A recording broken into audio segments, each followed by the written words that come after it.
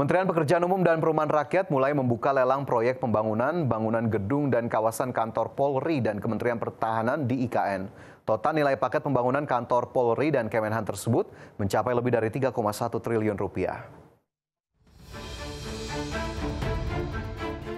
Kementerian PUPR mulai membuka lelang proyek pembangunan bangunan gedung dan kawasan kantor Polri di Ibu Kota Nusantara di Kalimantan Timur. Nilai paket pembangunan tersebut mencapai 1,4 triliun rupiah.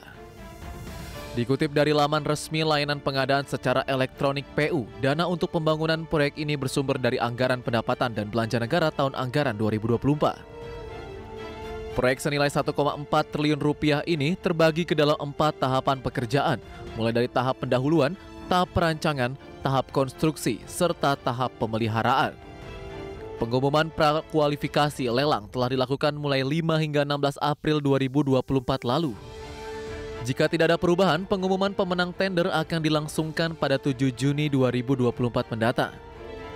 Saat ini tercatat ada sebanyak 50 peserta yang telah mengikuti lelang tersebut. Terjadwal penandatanganan kontrak untuk pemenang lelang akan diselenggarakan pada 14 Juni 2024. Selain kantor Polri, Kementerian PUPR juga membuka lelang proyek pembangunan gedung dan kawasan perkantoran Kementerian Pertahanan dengan nilai paket pembangunan mencapai 1,7 triliun rupiah yang bersumber dari APBN 2024 dengan total luas lahan proyek mencapai 4,36 hektar. Untuk akumulasi luas bangunan pada proyek tahap pertama mencapai 53.893 meter persegi Kawasan tersebut berbatasan langsung dengan hutan kota di bagian utara dan timur, taman distrik di selatan, dan Mako Pas Pampres di bagian barat.